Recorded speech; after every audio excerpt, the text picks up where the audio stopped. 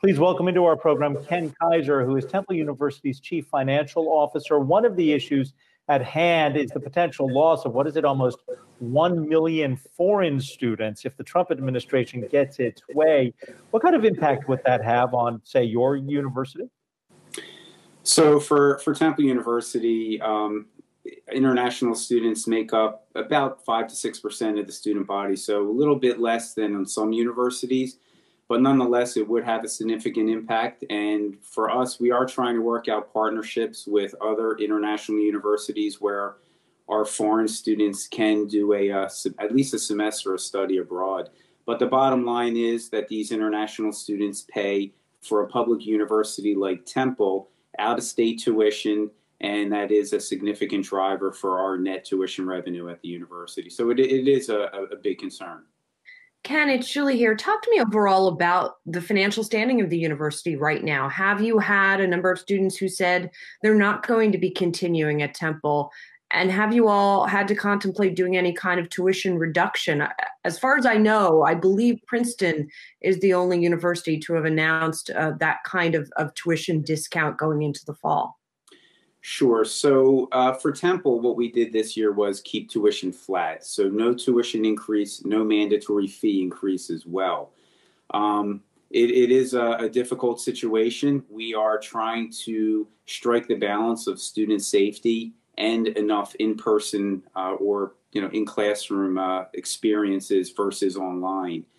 Uh, so we haven't reduced tuition. It's not something that Temple could truly afford to do compared to a Princeton uh, that has a, an endowment north of 25 billion compared to Temple with an endowment of around 650 million.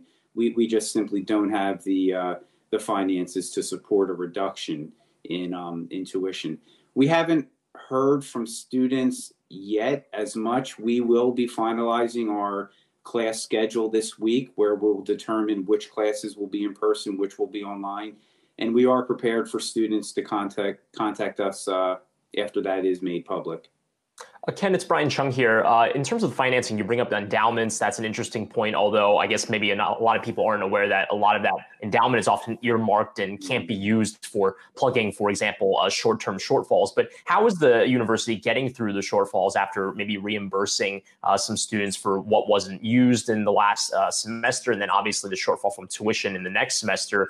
Things like the Federal Reserve, I know that they're trying to maybe offer some sort of uh, temporary loans through the Main Street lending program. Is that something the university's been looking at? Uh, we, we have not been looking at that program for Temple University. We refunded uh, more than $20 million in student fees, mainly for room and board, uh, select uh, student course fees, and for parking as well. Um, for us, we've done a lot of um, things to keep expenses down for fiscal 20, which just ended on June 30th.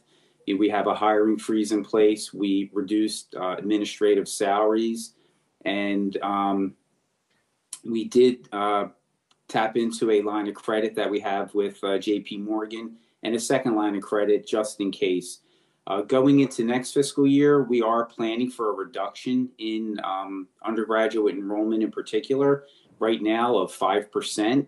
We have some contingencies in place if that number were to be greater than that. One positive sign for the university is we had our first and second summer sessions enrollment increase for the first time in over a decade. And both those sessions were essentially all online. So, on one hand, that's a positive. On the other, we all know what, what's going on in the uncertainty around that. So, we are planning for a decline, and, and we hope that it is within that 5% uh, reduction. Hi, Ken. It's Julia LaRoche. You're just referencing some of the the reduction to administrative pay, kind of the online to kind of, I guess, offset any decline in enrollment. But I do want to go back to just the cost tuition in general. what are you seeing from your incoming freshman class, and how do you kind of justify? This isn't just a Temple University question, but just mm-hmm. broadly higher education justify the tuition when things are going to be different in the future, and who knows um, how students might and parents might react for the longer term when they think about just the cost of tuition. How do you justify it? So again, a, a place like Temple University and and you know, all traditional universities, we are not an online university, even though we offer some online courses in the in the due course of, of business. So what we're doing right now is essentially keeping all of the fixed costs and everything associated with running a campus while pivoting to uh, a significant number of classes online. So at Temple, we have millions and millions of square feet that we must uh, maintain, we need to secure. We have staff that is going to be paid whether they are um, teaching online or teaching in person. And then added, we have all of the cost of moving everything online again because we don't have the infrastructure to teach 40,000 students in an online experience. So what we're telling parents is, you know, this is a a one time, hopefully a one time, one more semester of a significant remote learning experience. Hopefully in the spring, we're able to move mostly back to the traditional brick and mortars that Temple is used to. In addition to that, at Temple, they are still receiving an education from the same world class faculty we have, whether they were online or in person, and they are still paying for and receiving those credits. You know, admittedly, it's better to have an in person experience, but again, we are putting student safety first, and that dictates a lot of classes online to make sure that we're able to adhere to uh, to social distancing. Ken, let's look past though, say two, three years after we get a vaccine. Let's hope for the best. The, the coronavirus is behind us. Won't we see consolidation of university systems, public, private, the whole system, and even a consolidation on your campus of what's being offered, perhaps just a much quicker, simpler education offering?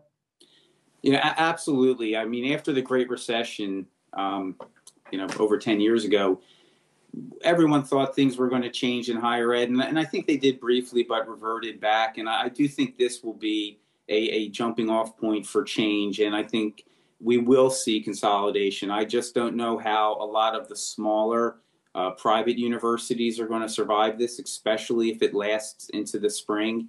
And then some of the publics as well. I do think they will be forced to consolidate, and states will will almost mandate that some of their universities uh, do consolidate. At Temple, we are um, getting uh, a little more efficient as a result of this. We already are a very efficient university as uh, as we look at our benchmarking consortium. But we we have cut our budget this year by just under fifty million dollars, and of course that comes with a lot of real change, not just change on the margin. So I do think you will see universities um, becoming more efficient, hopefully um, more affordable.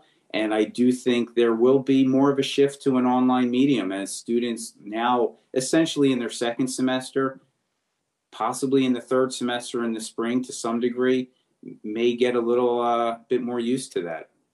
Ken Kaiser is Temple University's Chief Financial Officer. We appreciate your being here. Hey, investors, Zack Guzman here. Are you interested in learning more about the markets and getting the latest financial news? Well, then click right here to subscribe to our Yahoo Finance YouTube channel.